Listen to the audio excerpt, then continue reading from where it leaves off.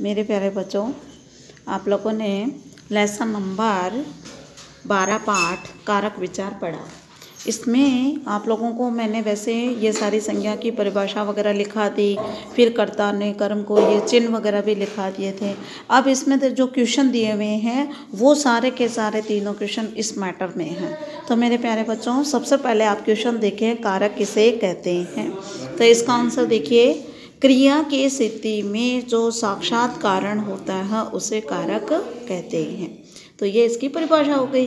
Okay तो ये first line इस फ़र्स्ट का आंसर हो जाएगी।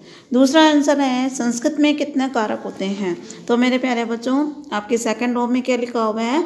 वस्तुतः संस्कृत भाषा में छह कारक होते हैं। हाँ कर्ता, कर्म, कारण, संप्रदान, अपादान, अधिकरण। तो आपको भी क्या लिखना है? कि ये लिखना है कि संस्कृत में कारक छह होते हैं, इन छह के नाम।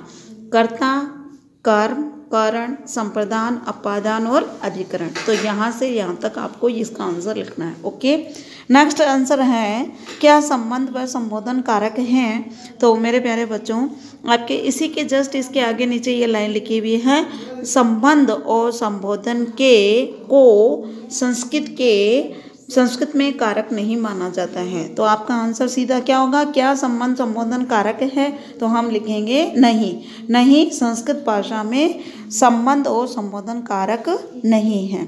तो मेरे प्यारे बच्चों, तीनों के क्वेश्चन मैंने आपको बता दिए हैं और वैसे भी हम ऑलरेडी इस मैटर के बारे में हमने चर्चा कर चुके हैं। आंसर कहाँ कहाँ है, ये भी मैंने बता दिया है। तो आप लोगों को ये तीनों क्वेश्चन आपको सॉल्व करने हैं। और फिर भी अगर कोई डाउट होता है तो आप ये डाउट अपना फ़ोन करके या व्हाट्सअप से पूछ सकते हैं। Okay bye